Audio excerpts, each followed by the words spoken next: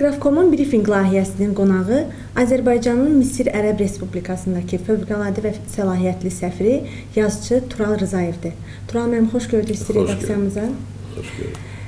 Bu il bildiyimiz kimi Azərbaycan diplomatiyasının 100 illiyidir. Mən istərdim ümumilikdə e, diplomatiyamızın hazırki vəziyyətini xarakterizə edəsiz. Qarşıda duran vəzifələr, ümumiyyətlə ortaya çıxan problemlər nədən ibarətdir? Bura gəlişimizin səbəbi bütün səfirlərin ə, Bakıya, mərkəzə yığılmasının səbəbi bu günlər bilirsiniz, bu 100 illiyi qeyd eləyirik. Azərbaycan diplomatik xidmətinin 100 illiyini qeyd eləyirik. 9 iyul sayılır ə, peşə bayramımız ə, diplomatiyanın və ilk tədbirdə ə, Azərbaycan Diplomatik Akademiyasında adada keçirildi.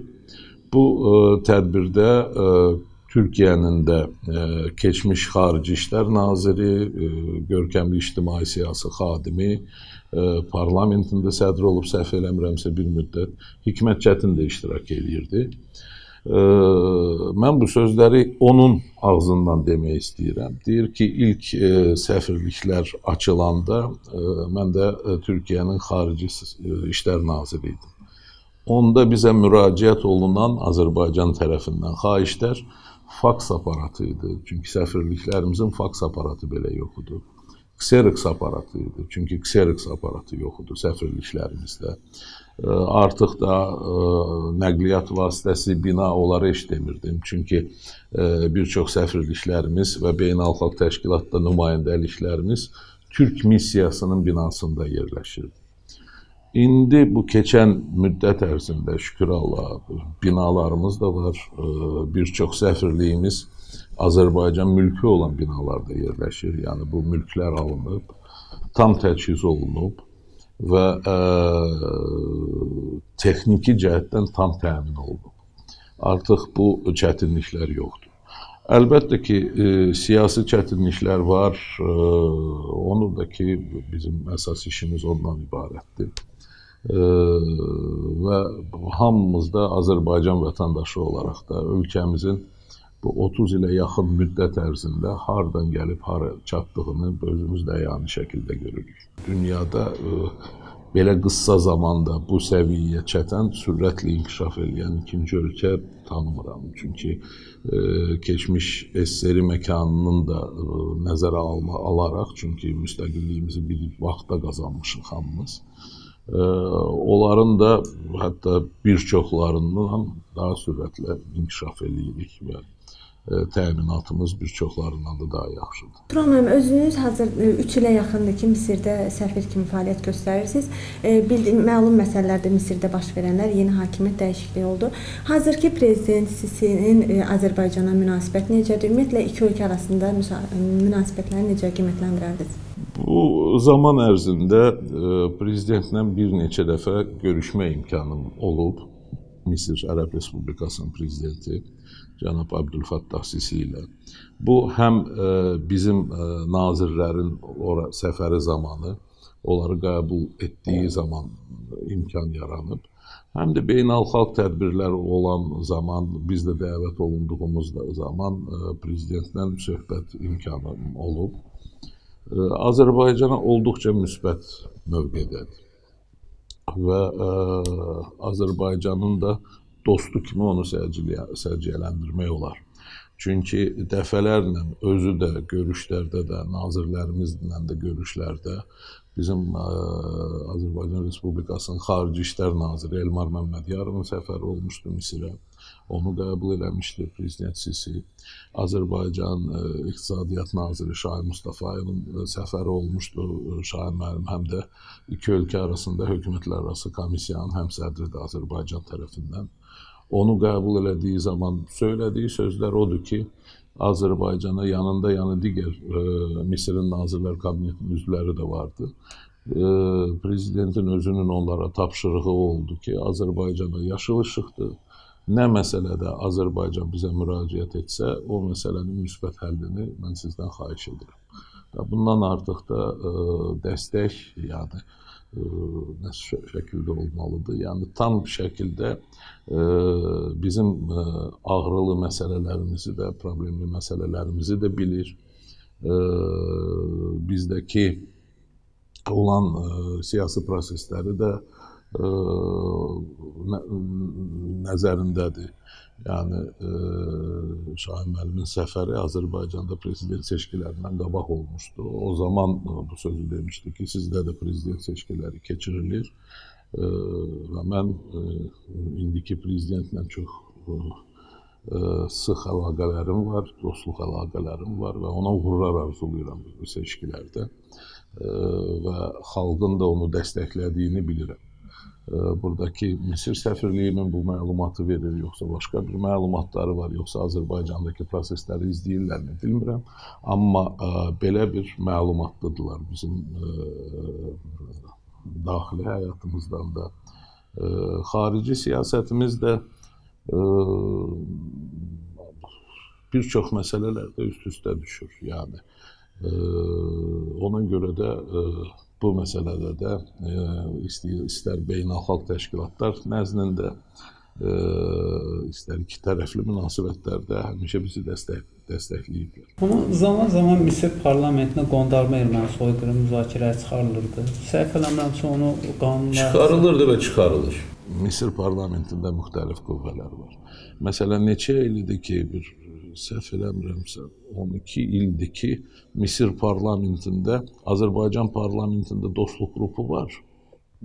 Azərbaycan-Misir dostluq qrupu. Misir parlamentində isə bu dostluq qrupu 12 ildir ki, yoxdur. Keçən il yaradıldı. Daha doğrusu bu il yaradıldı. Keçən il qərar verildi. Bu il yaradıldı dostluq qrupu. Dostluq qrupunun sədri Usama Abd adında bir şəxsdir, tanınmış ictimai siyasi xadimdir. Əl-Əzhar Universitetinin ki, böyük bir universitetdir, belə başqa bir dövlət də elə bir dövlətin içində dövlətdir. O Əl-Əzhar Universitetinin keçmiş sabiq rektorudur. Özü də bu dəqiqə Misir parlamentində din məsələləri üzrə daimi komissiyanın sədridir.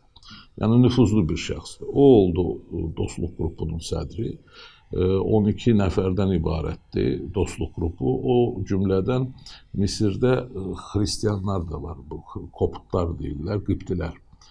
Bu ə, qibtilərin də ilk millət vəkili qadın o dostluq qrupunun o da üzvüdür. O da ə, tanınmış ictimai siyasi xadimdir Misirdə.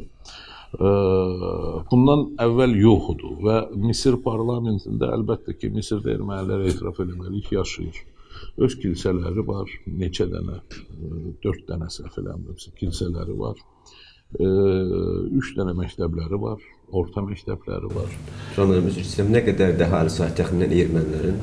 Bunun rəsmi rəqəmi yoxdur, amma bizim məlumatlarımıza görə 5-8 min arasıdır. Amma onu da etiraf eləməliyik. İndi hamımız indi tək mən Misirdə tək işləməmişəm, ondan qabaq Kuveytdə səfir olmuşam. Ondan qabaq Türkiyədə və Rumuniyada da müşavir ə, vəzifəsində işləmişəm. Və gəzdikcə də bizdə bəzən belə yanlış bir təəssürat olur ki, ə, bu xalq dilində danışanda deyirlər ki, əşi nə var bu ermənilər 3 milyondur, biz 10 milyonluq, 3 milyon. 3 milyon deyirlər. Bunu da etiraf eləməliyik. Yəni dünyaya baxanda çoxdular. Bir çox ölkələrdə o əsas yerlərdə belə deyim də o rusca ключевой deyirlər. O əsas pozisiyalarda ermənilərdir. Bu əsas pozisiya mütləq dövlət rəhbərliyində olmaq deyil. Yəni nazir olmaq deyil, ya deputat olmaq deyil. Ölkədə məsələn ən böyük konsert salonuna girsən, görsən rəhbəri ermənidir ən böyük e, film, sinema, bu kino şeyinə, zalına girsən rəhbəri ermənidir. Ən böyük mehmanxanasına girsən sahibi ermənidir. Ən böyük dükanına girsən, marketinə girsən sahibi ermənidir.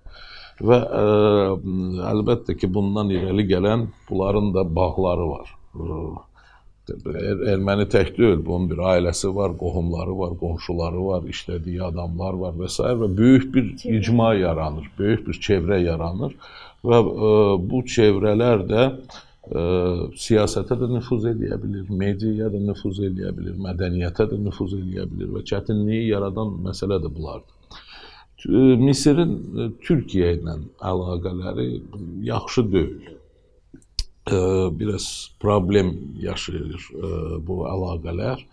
e, deməli e, Abdülfattah Sisinin prezident seçiləndən sonra Türkiyə keçmiş prezident, sabiq prezident Mursini dəstəkləyirdi. Ondan irəli gələn problemlər indiyəcən yaşanır. Ermənilər də bunu bizim əleyhimizdə istifadə edir. Hər cür qeyri Azərbaycan da türklərdir. Bunlar bildilər, bunlar yaxındılar. Hə, onları şey eləmək üçün Türkiyə əleyhinə bir hərəkət eləmək üçün bu soyqırım məsələsini erməni pərəst qüvvələri hər zaman gətirirlər parlamentin. Amma söhbət ondadır ki, heç parlamentin müzakirəsinə çıxarılmır belə bu məsələ. Elə şayiə olaraq və yaxud bir layihə olaraq və yaxud nə bilim bir təşəbbüs olaraq, təşəbbüs olaraq da qalır. Amma ə, bizim də görüşlərimizdə dəfələrlə bu soyqırım məsələsində Biz də səfirlik olaraq, Azərbaycan icması olaraq, böyük olmasaq da Misirdə həmişə bunu önə çıxartmışıq ki, siz 100 il bundan qabaq olubmu, olmayıbmı, nələr olub, nələr olmayıb, bəlli olmayan bir məsələni fakt kimi çıxardırsınız, halbuki heç bir dəliliniz yoxdur. Amma Xocalı soyqırımının faktları da var, canlı şahidləri də var video yazıları da var, fotoları da var. Şahid istəyirsiniz, canlı şahid istəyirsiniz, dəvət eləyək gəlsinlər, danışsınlar ki, nələr törədiblər. O zaman bu məsələni ilk öncə bunu çıxardın. Ondan sonra 100 il bundan qabaq olub olmayan muammalı bir hadisəni müzakirə eləyə bilərsiniz. Və Türkiyə tərəfi də Türkiyə Respublikasının prezidenti də həmişə onu deyib ki, bu tarixçilər müzakirə eləsinlər. Biz açığıq bu məsələyə arxivlərimizi də, bütün tarixi arxivlərimizi də bu məsələ üçün açırıq. Gəlsinlər, amma onlar da aça bilirlərmi? Onlar da həqiqəti çıxarda bilirlərmi? O hadisələrlə əlaqəli olan qüvvələr, yəni ölkələr, o cümlədən Rusiya, Avropanın bir sıra ölkələri, başda İngiltərə olmaqla arxivləri açmağa hazırdılarmı bu məsələdə? Çağırılışları dəfələrlə olub. Bizim də dediyimiz odur ki, o məsələ araşdırılmalıdır. Tarixçilər tərəfindən siyasətçilər də dəvət olunsun, onlar da dinlənsin bu tarixçiləri, alimləri. Amma burada dinlənməli bir şey də yoxdur. Burada hər şey aydın, aşkardır. Video görüntülər istəyirsiniz, onları təqdim eləyək sizə. E, foto istəyirsiniz, fotoları təqdim eləyək.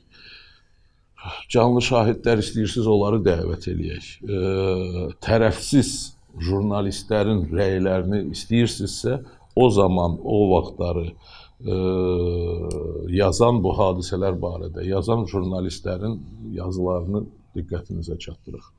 Ona görə o daha çox o məsələ Türkiyə ilə Misir arasında son siyasi bu soyuqluq nəticəsində ortaya çıxan bir e, hekayədir belə deyək.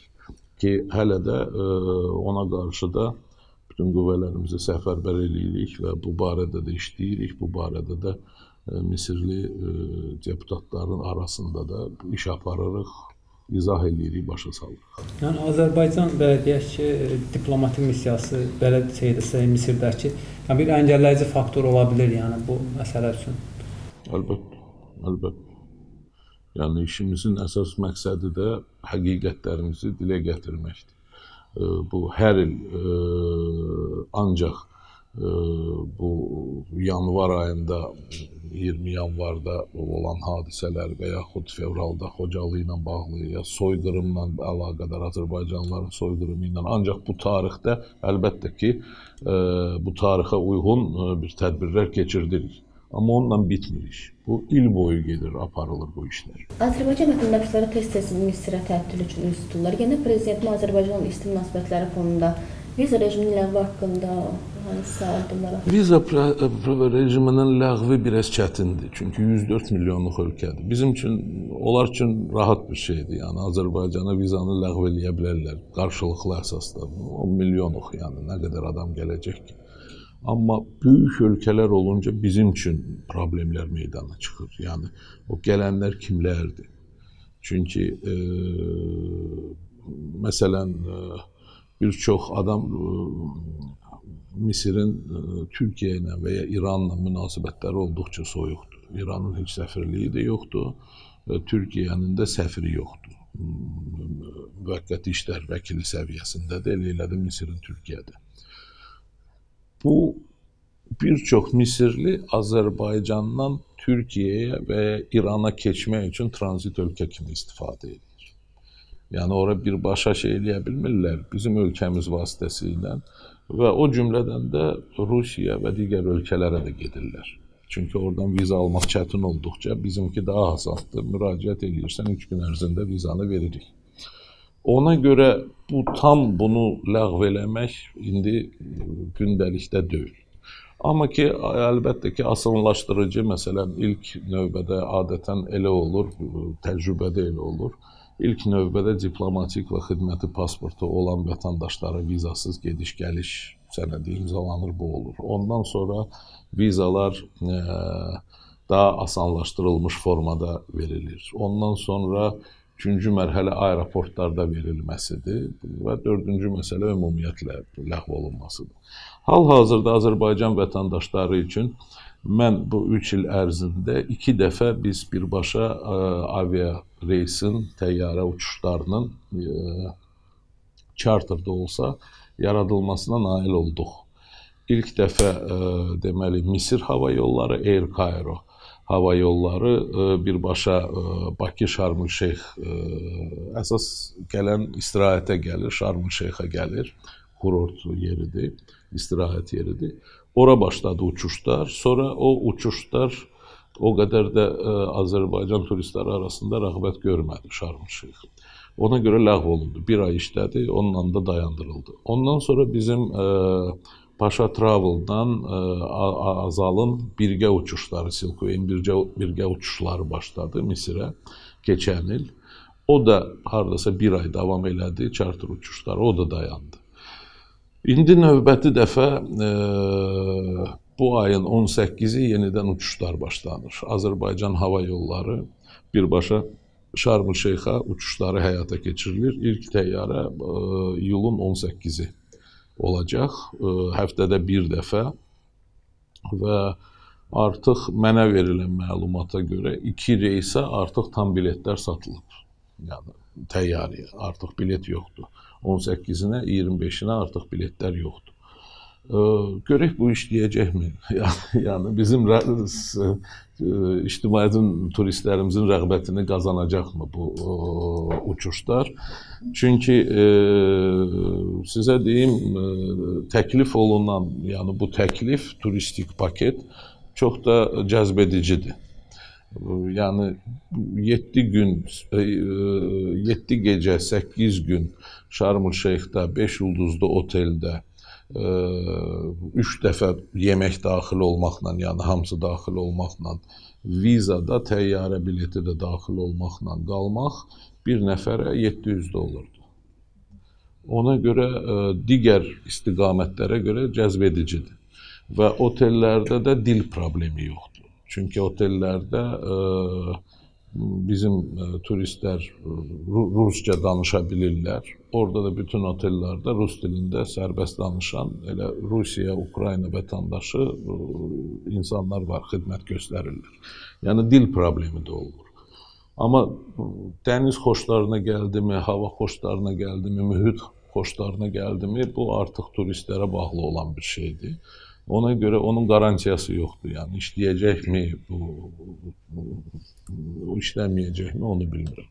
Amma Misirdən də Azərbaycana turist sayı hər il artımla gedir. Özü də faizlə yox, dəfələrlə artır. Yəni il-ildən dəfələrlə artır.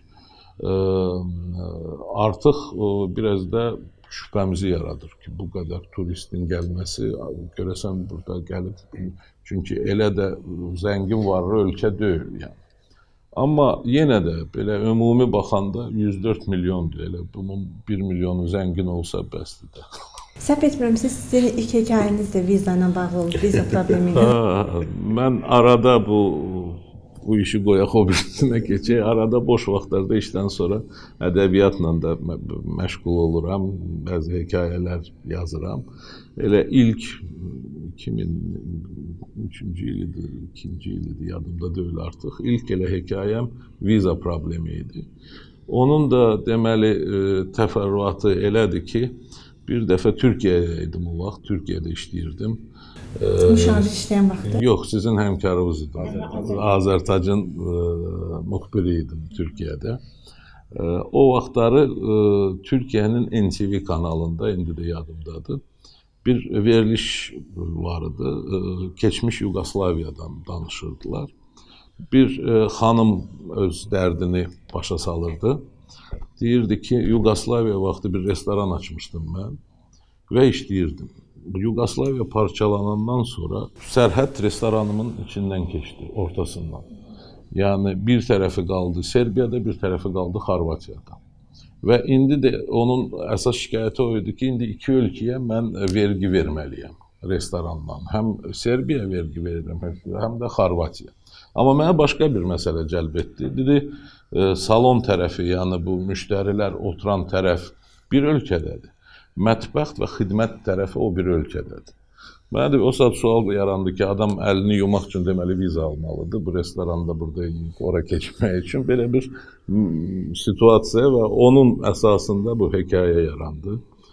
Daha çox o hekayənin yaranma tarixi budur. Bizim mövcud ədəbi mühit haqqında fikriniz nədir? İzləyirsinizmi yəni ölkənin ədəbi mühitdə gedən prosesləri? O qədər də izləyə bilmirəm, doğrusu deyim. E, yəni necə izləyə bilmirəm? E, mətbuatdan izləyirəm. Amma ə, gənc ə, yazıçılarımızın, şairlərin, şairlərin əsərlərini oxuyum, kitablarını alım, o biraz çətindir. Çünki xaricdəyəm. Bakıya gələndə də çox qısa müddətli gəlirəm. Ə, o anda o kitabı tapmaq, yeni çıxan bir imkanım olmur. Etiraf edeyim ki, təəssüf ki, son ədəbi ə, hadisələrlə bir gənc yazarlardan söz düşmüşəm. Gənc yazarlar ki var bizim, yəni yeni dövrün ə, ədəbiyyat adamları tez-tez Anar müəllimi tənqid edirlər, yəni tənqid atəşinə məruz qalır belə desək.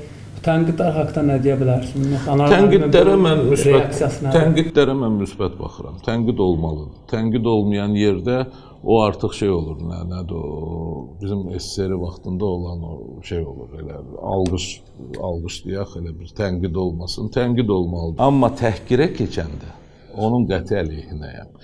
İstər ə, ədəbi mühitdə, istər siyasətdə, istər ə, iqtisadiyyatda, yəni bir heç kimin nə jurnalistin, nə hansısa bir ə, öz həmkarının ə, peşədən olan şəxsin digərini təhqir etməyə haqqı yoxdur.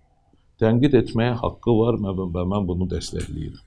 Amma təhqirə keçəndə o artıq ə, necə deyim, ambisiyaları var yəqin, o ambisiyalarına çata bilmir ya da o kompleks var. O, özünü doğrulda bilməyən kompleks ki, ə, tənqidə də ağlı çatmır. Yəni tənqid etmək üçün də gərək adamın bir ağlı olsun. Ki sən nəyisə tənqid eləyəcəksənsə, sən düzünü bilirsən və onu tənqid eləyirsən ki, bunu sən düz deməmisən. Bu belə deyil, belədir. Amma sən başlayanda təhqiri şeylərə, insanların ə, nə bilim, ə, biri çolaqdırsa buna ağsaq nə bilim demək, biri nə bilim gözü yoxdursa kör demək, nə bilim, onlar yaraşmayan bir şeylərdir və insanlarda olmaması olan bir xüsusiyyətlərdir. Bunlar olmamalıdır. Ona görə o ki qaldı atama qarşı ə, bəzi yazılar çıxır və s.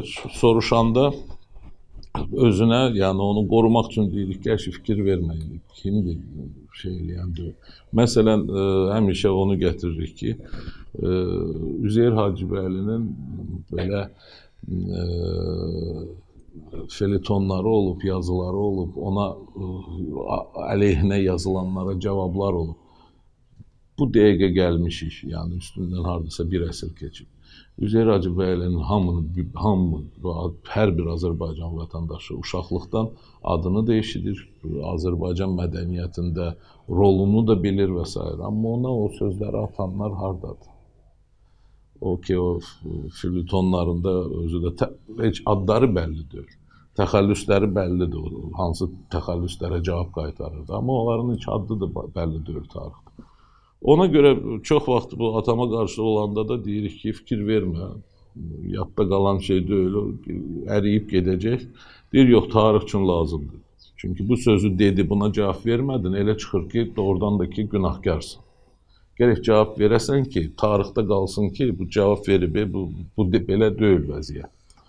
Amma nə isə vaxt aparan şeydir də, cavab yazmağın özü də bir vaxt aparan. Maraqlıdır. E, İndi gənclər tənqid eləyir. Müxtəlif tənqid olur, biraz sərt, biraz yumşaq. Amma bir övlad kimi, bir ədəbiyyat adamı kimi sizin atanızın e, deməli fəaliyyətinə, ictimai fəaliyyətinə yaxud e, əsərlərinə münasibətiniz, tənqidi münasibətiniz varmı? Oğullar bəzən atalar əhəmmirlər. Yox, birincisi yoxdur, ikincisi olsa da demərəm. Yəni düzgün də olmaz. Yox, ə, elə bir ə, tənqidi ancaq o şeyə tənqid eləyirik ki, nə var baş qoşursan, nə var cavab verirsən, özünün də əsəblərində əsəblərin xarab olur və s. onu qorumaq məqsədi ilə. Çünki doğrudan da ki, indi qıraqdan görünürmü, görünmürmü, amma SSR vaxtında da bizim o Qarabağ məsələsi çıxanda da Moskvada doğrudan da ki, ən yüksək səviyyədə Qarbaçovdan tutun ondan aşağı olan məsələlərdə onun apardığı o mübarizəni biz bilirik. Evdə gəlib danışırdı ki, vəziyyət necədir, onu ailə bilirdi. İndi bəzi şeyləri çıxıb efirdə danışmaq olmurdu və s. amma onu biz bilirdik. Ona görə ancaq mövqeyimiz onu qorumaq istiqamətindədir, bəli. Rəsmə olan marağınız, ədəbiyyata olan, olan marağınız Heç oldu ki, xalq yazıçısının olmadı, diplomatiyanı seçdiniz. Mənim ə, Allah ölənlərimizə rəhmət eləsin, rəhmətlik nənəm Nigar Rəfibəyli, Azərbaycan xalq şairəsi. Ə, belə bir şeydi, yazıçılar birliyində sədr seçəcəkdilər, iclasıdır. Atam ora get, atamın da namizədliyi vardı sədr postuna. Ora getdi, sonra qayıtdı və anasına dedi ki, Nigar xanıma ki, Bəs yox məni seçmədilər o, şeylər. Mənim namizədliyim olmadı. O vaxt Mirzə İbrahimovu sədr seçmişdilər. Anam getdi balışdı, nənəm getdi balışın altından 3 manat çıxartdı ki, bunu bir dənə dilənçiyə verərsən, nəzir demişdim ki, bircə səni seçməsinlər. Çünki o vəzifədə hamı ə, elə iş yerində vəfat edir, stressdən ürəyi partlayır və s. istəmirdim mən. Çünki bizim yazıçıları, şairləri tanıyıram, istəmirəm ki, sən orada olasan. Bizə də ki, nəvələrinə həmişə tövsiyə eləyirdi ki, həkim olun. Ya həkim olun, ya da advokat olun. İnsanlar vəkil. Ya insanları ə, sağlığının müdafiəsində durun, ya da haqlarının müdafiəsində durun. İndi elə gətirdi. O vaxt ə, e, şərqşünaslıq fakültəsinə mən daxil oldum. Bacım da şərqşünaslıq fakültəsinin məzunudur. Mən ərəb dilində ərəb filologiyasını bitirdim, o isə türk filologiyasını bitirdi. Elə oldu ki, yaxın bu şeylərdə həkim olmadı. Mənim övladlarım da e, diplomatiya, beynəlxalq e, münasibətləri oxuyur. Mənim yolumdan niyəsə getdilər. Mən indi belə alındı. Qarşıdan da Yazılar Birliyinin yəni sədrliyinə seçkilər gələcək, qurultay olacaq. Anar müəllim, yəni namizəd olmaq fikirləşirmi bu haqda? Yəqin ki, danışmış olarsınız. O, nə bilim, o, o özünü dəvət eləyin. Hara dəvət eləyirlərsə, o sevə-sevə gedir. Özünü dəvət eləyin, gəlsin. Bilirəm ki, odur, sevə-sevə burada gələr. Dəvət eləyin o sualları ona verin. Onu mən nə, nə necə deyim? Tural müəllim, bir də e, evləri köndələn yarla bağlı bir sualım var. E, bunu siz də yazmısınız. E, e, deyəsən e, dövlət televiziyasından sifariş e, Anar müəllimə gəlib, amma vəziyyət elə alınıb ki, siz yazmalı olmusunuz. Tarixçəsini istərdim bir. Tarixçəsi mən e, Rumuniyada müşavir işləyirdim. Rumuniyada işimi bitirdikdən sonra qayıtdım burada Xarici İşlər Nazirliyinin idarə rəisinin müavini oldum. Amma əlbəttə ki, biraz ə, e, xaricdə işləyəndə xaricdə maaşlarımız yüksək olur. Və birdən-birə aşağı maaşa gələndə biraz ailədə də çətinlik olur. Çünki yüksək maaşa öyrəşəndən sonra bu o və maddi sıxıntılar var idi.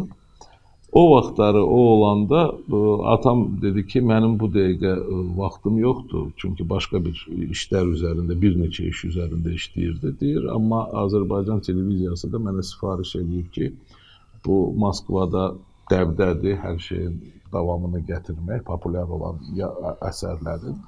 Bizdə də ə, bu evləri köydələn yarın ə, ikinci hissəsini, yəni neçə ildən sonra bu yenidən görüşürlər və s. elə bir şey yazmaq deyir həvəsin varsa və belə bir fikrin varsa, sən bəlkə yazasan. Dedim ki, yazaram və onu bir gündə, bir gecədə yazdım. Yazdım, çünki qonorarı da yüksək idi. Və ə, maddi şey üçün ə, onu yazdım. Yazdım, gətirdim, verdim. Özü də oxudu, çox xoşuna gəldi. E, demək olar ki, heç qeyd, qeydi yox idi. Və rejissoru da o zaman tapşırmışdılar e, Ramiz, e, bəli, Ramiz Həsənoğluna. Ramiz Həsənoğluna təqdim etdi. Ramiz Həsənoğlunun da çox xoşuna gəldi. ASTV rəhbərliyinə, o vaxtki rəhbərliyinə təqdim olundu. Təqdim olundu, amma bilmirəm indi kitabı oxuyanda görəcəksiniz, çox adam mənə deyir ki, sən heç ağına bozuna baxmırsan, orada elə tənqidlər var, nə bilim nə deyirəm. Valla mən yazanda onları görmürəm. həyatdır, həyatda nə varsa onu yazıram. Və mənə dedilər ki, daha doğrusu Ramiz müəllimə dedilər ki, yox çox tənqididir, bu, bu belə getməz. Özü də birinci kanalımızın efirindən bu belə mümkün deyil. Bu dəyişmək lazımdır. Dəyişmək lazımdır deyəndə sonradan Ramiz mənim danışır. O vaxt xəbəri yox idi ki, mən yazıram. Dedi ki, dedim, batdı bu layihə. Çünki anar mənim dəyişən deyil. Bunlar da deyir, olmaz. Deməli, heç nə də bu şey olmayacaq. Mənə gətirdi adamcı, dedilər, belə görürsən də, indi SSR vaxtı heç elə döyüldü birdən bu senzura hardan çıxdı, niyə belə? Çox da şey oldu. Neçənci il idi üzr istəyirəm? Yadımda deyil. Deyim sizə 2009 mən Bakıda olandım. 2009-cu il. Nə isə mənim də axı o qonorara ehtiyacım var. O saat gecə ilə təzədən dəyişdim bunu. Təzədən tamam başqa bir əsər çıxdı ortalığa. Onu dəyişəndən sonra gətirdim, verdim. Atam da verdi Ramiz müəllimə. Onda Ramiz müəllim şübhələndi.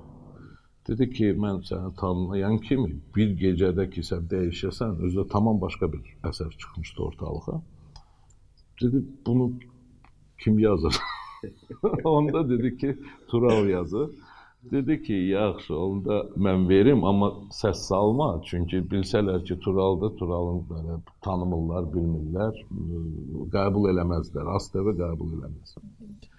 Və nə isə bu yazıldı, rəhbərliyə verildi. Bu versiyası rəhbərliyin xoşuna gəldi, çox xoşuna gəldi və dedi başlayın çəkməyə və saytı ayırdılar çəkiliş oldu. İndi o titrlər yazılanda nə yazacaqlar?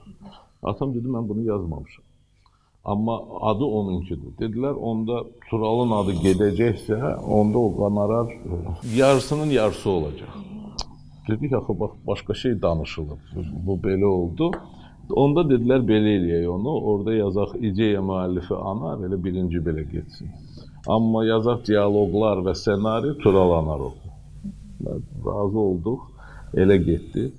İndi e, bəzən deyirlər ki, nə bilim, yazıların ilk yazıları çıxanda ki, elə Anar müəllim yazıb Turalın adı ilə gedir, oğlunun adı ilə, amma tam tərsi olmuşdu.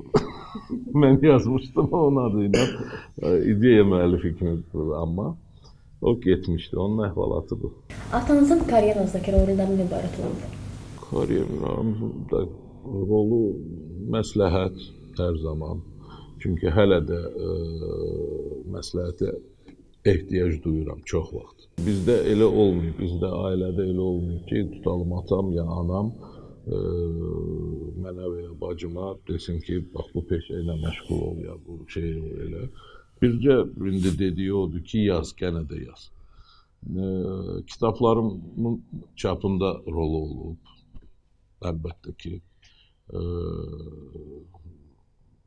Məsələn, kitabımın təqdimatı oldu. O, o təqdimatda axırıncı kitabın təqdimatı, o Yad planetli. O təqdimatda elə özü danışanda bu barədə dedi ki, bir şeyi xahiş edirəm biləsiz ki, kitab 900 manata çap olunub. Onda mənlə yoldaşım biz hədiyyə olaraq ad gününə hədiyyə eləmişik cibimizdən. Yəni bu yazıçılar ittifaqının büdcəsindən və ya kimə, kiməsə təlimat verməkdən deyil. Biz öz pulumuzla ona hədiyyə eləmişik bu kitabı. Yəni rolları ə, e, belə olub. Ə, əlbəttə ki, mən yazılarımı ilk öncə atama göndərirəm ki, oxusun, baxsın. Oxuyub baxandan sonra deyir ki, gəl bunu filan jurnala verək. Əlbəttə ki, mən indi tanıyıram, amma əvvəl jurnal redaktorlarını tanımırdım və s. Atam göndərirdi ki, baxın buna, əgər uyğundursa jurnalda verin və ya qəzetdə verin. Bax belə, yəni və hər birimizin də valideynləri var və valideynlər nə köməklik eləyirsə uşaqlarına bu köməklik olub əlbəttə ki, maddi cəhətdən də digər məsələlərdədir. Bəs Azərbaycan yazıçılarının yəni əsərlərini Yəni Misirdə məsələn çap etdirmək, tərcümə etdirmək barədə bir layihə, bir plan varmı yəni nəzərdə? Bu barədə bizim müşavirə oldu, diplomatik ə, e, xidmət rəhbərlərinin müşavirəsi oldu. Orada da bu məsələni qaldırdıq. Çünki bizdə indi hər şey çılçıraqban deyil. Problemlər var. İndi o problemlərin biri də koordinasiyadır bəlkə. Qurumlar arasında koordinasiyadır bu təbliğat məsələsi necə aparmalıdır? Yəni bu təbliğata vəsait hər şey gəlir, fırlanır, maliyyə məsələsində dayanır. Yəni mən indi mənə tapşırsınlar, mən bütün şeyləri tərcümə elətdirərəm də, insanlar da var bunu bacaran yüksək səviyyədə və s. Amma bu maliyyəsi, bunun çapı gəlib çıxırlar çapa. Çox gözəl Misirdə məsələn e, film sənayesi inkişaf etmiş e, ölkədir. Məsələn, Kuveytdə kinematografiya yoxdur, amma Misirin öz filmləri var. Sovet vaxtında bizdə də göstərilirdi ölkədə, SSR-də. Amma bunların da çox maraqlı təklifləri var ki, Azərbaycan tarixi barədə, bu günü barədə sənədli filmlər çəksinlər, amma onun maliyyələşməsi hardan olacaq? O maliyyə məsələsində müəyyən miqdar, məsələn, təbliğat məsələlərində Xarici İşlər Nazirliyinə ayrılır. Müəyyən miqdar Mədəniyyət Nazirliyinə ayrılır. Müəyyən miqdar vəsait e, diaspora iş üzrə Dövlət Komitəsinə ayrılır və digər də qurumlara elə elə. Amma bunun koordinasiyası ki, bizə nə lazımdır? Məsələn, bu il Azərbaycan e, məsələn rəssamlarının Bu, bu, bu ölkələrdə məsələn sərgisini keçirdək və ya ə, e, müğənnilərimizin və ya ə, e, musiqiçilərimizin bu, bu, bu ölkələrində ölkələrdə ə, e, konsert proqramlarını tərtib edək və ya bu yazıçılarımızın kitabı çap olunsun. Bax o koordinasiya məsələsinə gələndə biraz çətinlik çəkirik ki, müşavirədə də bu problemləri qaldırdıq. Yoxsa biz hazırıq çap eləməyə. Maliyyə şey olsa, dəstəyi olsa, hə, Misirlilərin özün mahiləşdirsin, elə bir şeylər varmı? Onun üzərində də işləyirik, müəyyən e, kitabları çap eləyiblər, özlərinin marağı olan e, və ya kommersiya nöqteyi nəzərdən ki, düşündükləri ki, bu satılacaq. Amma hər şey kommersiya ilə də yaxınlaşmaq olmaz. Çünki təbliğat məsələsi var, bu kommersiyadan tam qıraqdadır. Bu məsələyə e, dövlət qayğısı göstərilir, diqqəti göstərilir. Amma onun koordinasiyasında biraz axsama var. Ömər, e, Mənsurun sualı doğrudan mənim də yadıma bir e, nüans saldı. Hər halda Misirin e, Nobel mükafatı olan yazıçısı var da, nəzər kimi bir e, məşhur yazıçı. Yəni oradakı ədəbi mühit e, necədir? Mən bunu məsələyim. Həm də bu məsələ biraz da diqqət ayırma olar o mənadakı Nobel mükafatçısı varsa deməli orada ədəbiyyat var, ədəbiyyata maraq var və qarşılıqlı olaraq Misir yazıçıları burada çap oluna bilər, buradakı yazıçılar, görkəmli yazıçılar burada çap oluna bilər və s. Çap olunur, çap olunur. Orada məsələn ə, e, səfirlik tərəfindən ə, e, bizim İqtisadiyyat Nazirliyi ilə köməkləşərək maddi cəhətdən e, dəstək olaraq məsələn ə, Mirzə Cəlilin Mirzə Cəlil Məmmədquluzadənin kitabları kitabı çap olunub, kitabları yox, kitabı çap olunub. E, məsələn, e, atamın kitabı çap olunub, Elçinin kitabı çap olunub, Kamal Abdullahın kitabı çap olunub. Amma bunlar bilirsiniz, e, necə deyim, spontan mı deyim, necə deyim, belə impulsiv e, haldır. Yəni necədir? E, Misirli yazıçılar bura gəlir, Kamal müəllimlə tanış olunur. O, o hədiyyə eləyir kitabın, məsələn ingilis dilində çıxan kitabın. Bunlar da baxırlar, hə bizim üçün də maraqlıdır, biz də çap eləyək.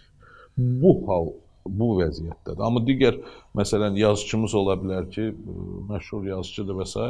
amma bunlarla görüşmədi. Bunlara təqdim eləmədi kitabın. Bunlar o onun haqqında xəbərləri yoxdur. Biz də veririk səfirlik tərəfindən əlbəttə ki, vaxtaşırı ə, ölkəmizi tanıdanda müxtəlif adları, müxtəlif şey, mühiti, bu ədəbi mühiti, ə, rəssamlığı, musiqini və s. veririk. Amma nə qədər adam oradan alır, yəni o nə qədər adama çatır fikrimiz, bu təbliğatımız, o da başqa məsələdir. Ona görə ə, bir var onların özlərinin elədikləri, bir də var bizim dövlət kimi elədiyimiz. Bilirik ki, yəni Misir ayrı-ayrı ölkələrdən turistlərin çoxu gəldiyi ölkələr ölkə turizm ölkəsində milyonlarla insan gəlib gedir. Yəni bu məsələn həmin insanlara Azərbaycanın tanıdılması istiqamətində hansı işlər görülür və elə məsələn burada tərcümə olunmuş kitabları onlara paylamaq olmazdımı? Yəni bir kampaniya şəklində ki, tanıtsın, ən aşağısı Azərbaycan ədəbiyyatı ilə tanısın və ya da mədəniyyətin digər sahələrində. Biz müxtəlif tədbirlər keçirdik. Bu konsert proqramları da olur, sərgi də olur və s. Və bu o, məsələn mənim elə biraz yazıçılıqla məşğul olmağım, biraz e, bu rəsmlə məşğul olmağım da bura köməklik eləyir. E, o Kuveytdə də köməklik eləyirdi, burada da köməklik eləyir.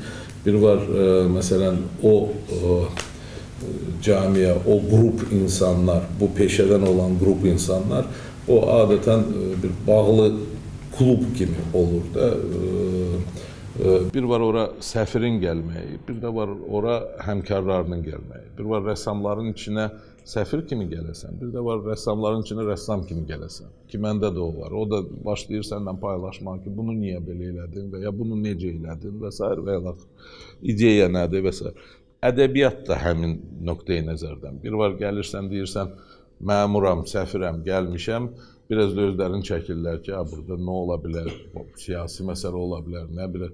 Bir də var ki, bunların yanına gələrsən ki, mən də sizin kimi yazıcıyam və s. Orada münasibət də başqa olur və ə, e, sıcaqlıq da tamam başqa olur. O qarşılıqlı enerji də başqa cür olur. Ona görə bu məsələlər mənə kömək mənim mənə şəxsən işimdə köməklik eləyir. Və ə, e, bunları çalışırıq eləməyə. Ora ki qaldı ora gələn xaricilərin arasına o onlara gəlincə məsələn o da olur. Azərbaycandan məsələn müxtəlif orada ə, e, gənclər festivalı keçirilmişdi. Ə, e, bizdən bir müğənni gəlib orada iştirak etmişdi. Dilara xanım, Kazımov. Ha, o gəlib məsələn orada iştirak eləmişdi. Digər məsələlərdə bizim məsələn sinema festivalları olur, beynəlxalq bizimki sənədli filmlər və bədii filmlər də iştirak edirlər. Teatr festivalları olur, bizim nümayəndələr iştirak edirlər və onlar vasitəsilə tanıdırıq. Məsələn, İslam konfransı çərçivəsində mədəniyyət həftəsi var idi.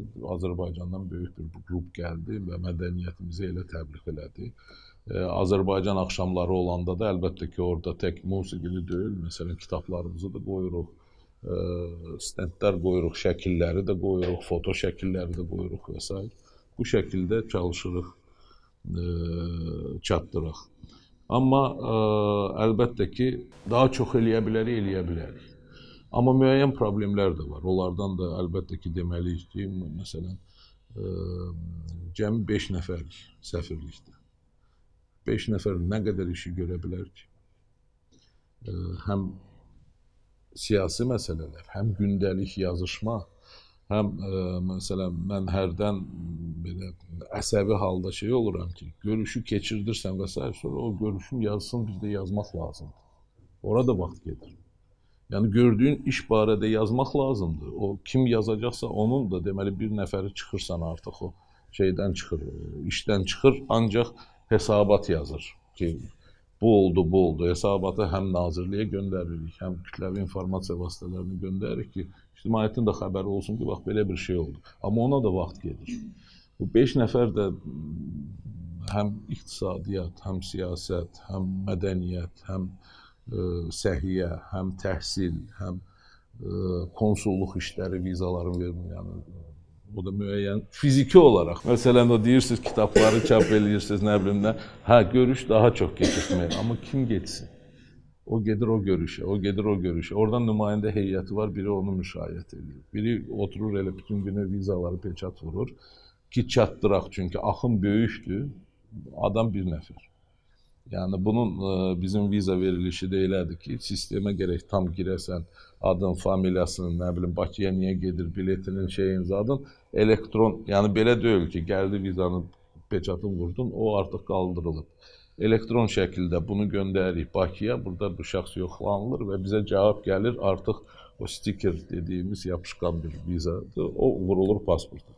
Yəni onu tam doldurmadan o anketi elektron şəkildə. Yəni fiziki cəhətdən gündə adam nə qədər onu doldura bilər ki? Yəni orada da problem. Məsələn, e, bir gündə 60 nəfər gələndə oja problem yaranır. Çünki fiziki olaraq hər nəfərə 3 dəqiqə ayırsan, 4 dəqiqə ayırsan, 60-ı 4-ə vurun, görün. O o problemlərdir yəni. Maraqlıdır e, o da e, adətən səfirlər səfirlikdə nə qədər işçi olur belə o- ortalamada yəni kifayət edir. 5 5 nəfər 4 nəfər, 5 nəfər bizim səfirliklərdə. Böyük səfirliklərimiz var. Məsələn, Rusiya Federasiyasında orada çoxdur. Amerikada böyük səfirliyimiz var. Orada adam çoxdur. Amma ki, digər ə, ölkələrə baxanda hardasa 4 nəfər, 5 nəfər. Misir ərəb dünyasında hər zaman ə, mühüm yer tutub və bəzən ərəb dünyasına öncüllük də edib.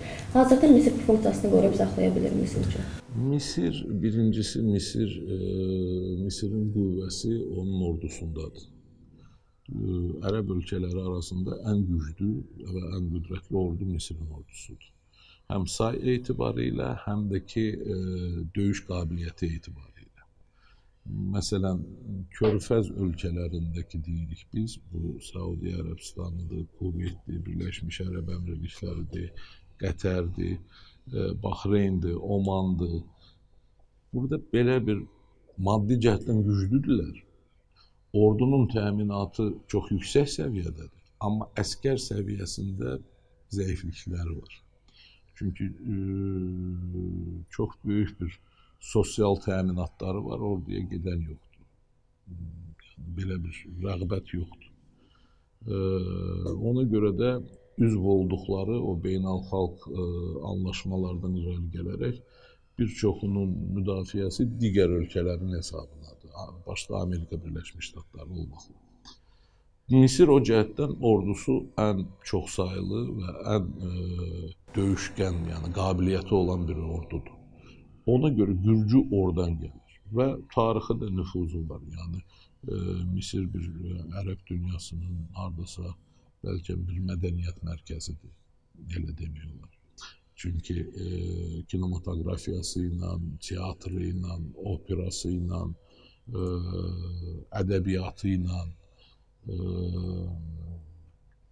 incəsənəti ilə öndədir hər zaman. Bu da bunun da çox böyük bir əhəmiyyəti var. Məsələn, e, nə bilim, Əlcəzairdə də oturub Misir filminə baxırlar, ya Misir serialına baxırlar. Məsələn, e, Omanda da oturub Misir serialına baxırlar. E,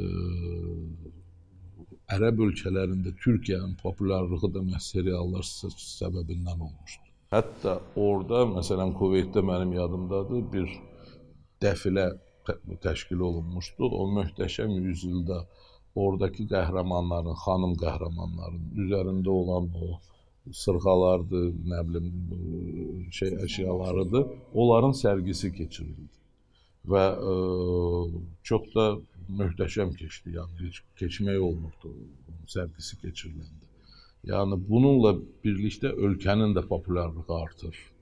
Ə, ölkənin də məsələn o filmlərdə görülən, o seriallarda görülən qəhrəmanlar kimi saç düzümünü eləyirlər, bilmirəm, onlar kimi paltar geyinirlər, o, o dəb ə, ə, və s. və populyarlığı artır. Misirin də ərəb ölkələri arasında populyarlığı o ordu tərəfi bir tərəfə, bu biri tərəfdən də mədəniyyəti ilə populyarlığını qazanır ölkə.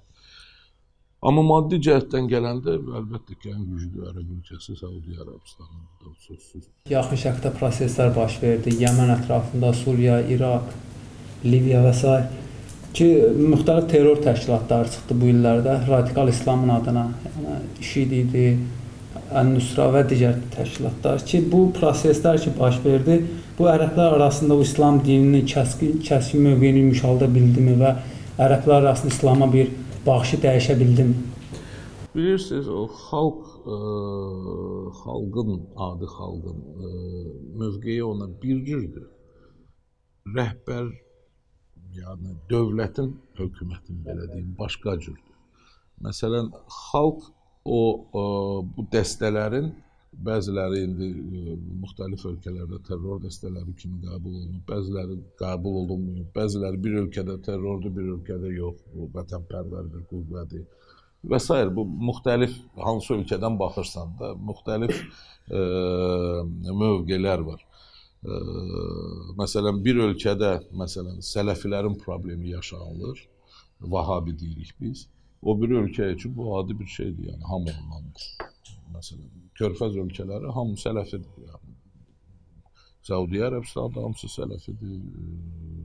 Nə bilim, şeydə də hamısı. Məsələn, ə, müsəlman qardaşları var. Misir üçün o problemdir, amma mərkəzləri Qətərdə yerləşir. İxvanul Müslimin. Ona görə o hansı ölkədən baxsan, hə, hərənin də öz həqiqətləri var. Yəni dinləsən.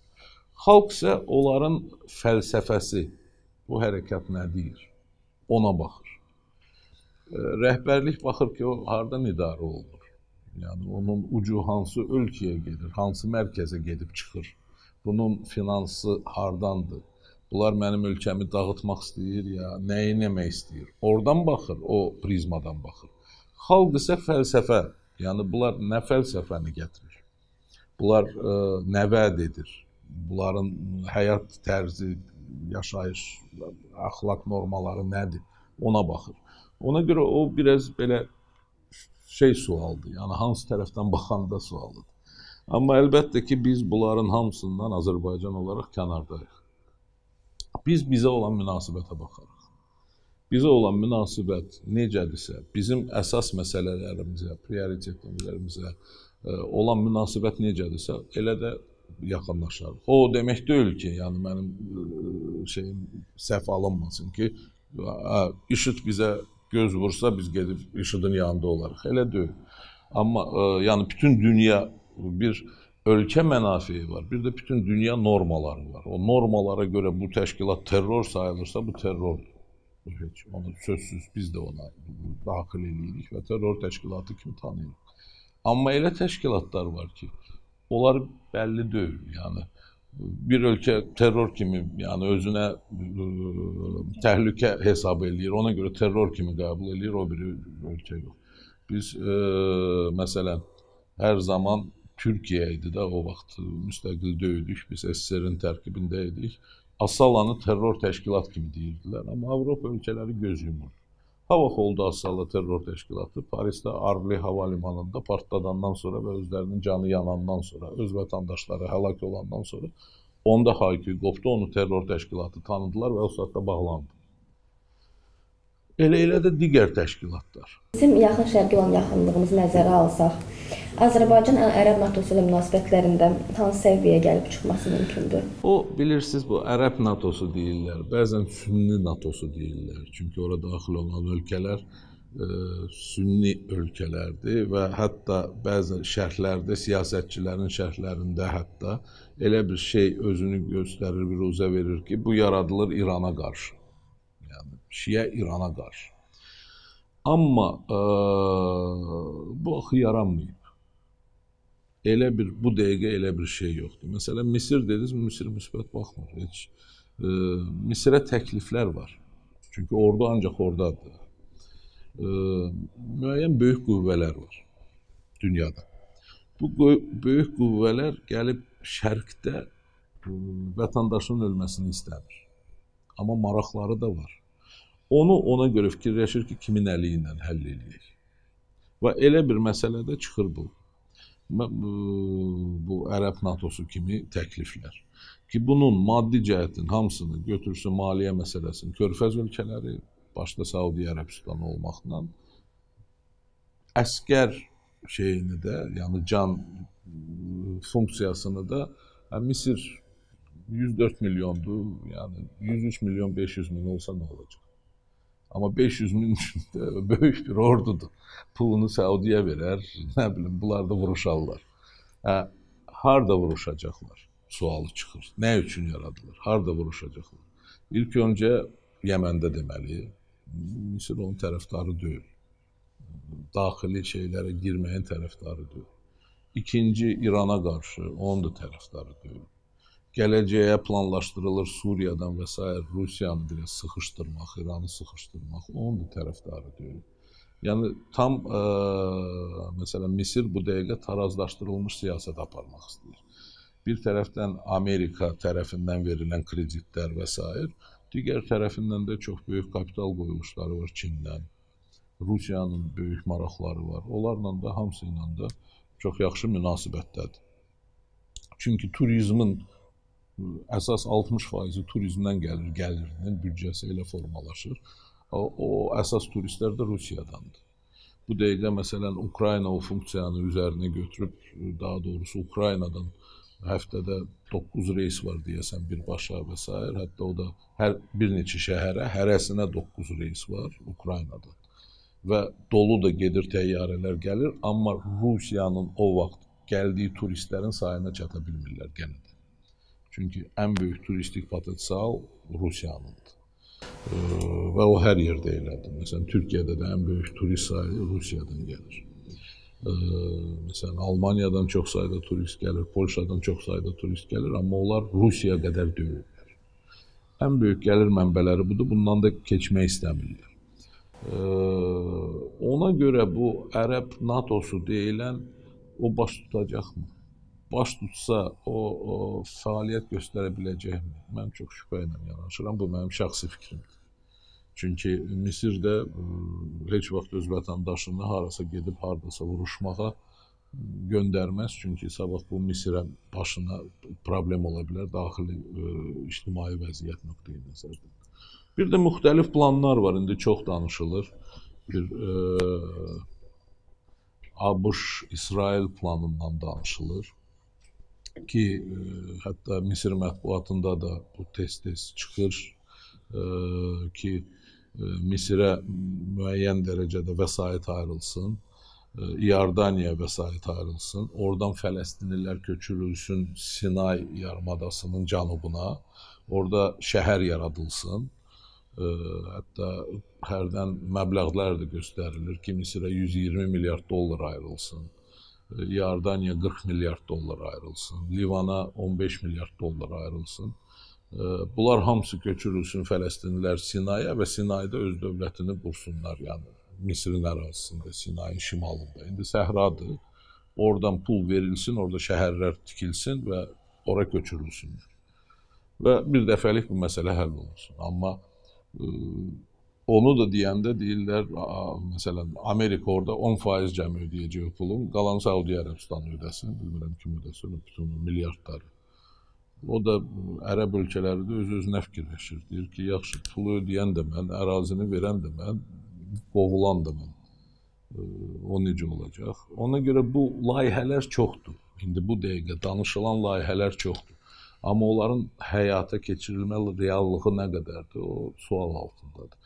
O cümlədən də bax bu o, Ərəb NATO-su denilən, o, deyilən o məsələyə mən şübhə ilə yanaşıram.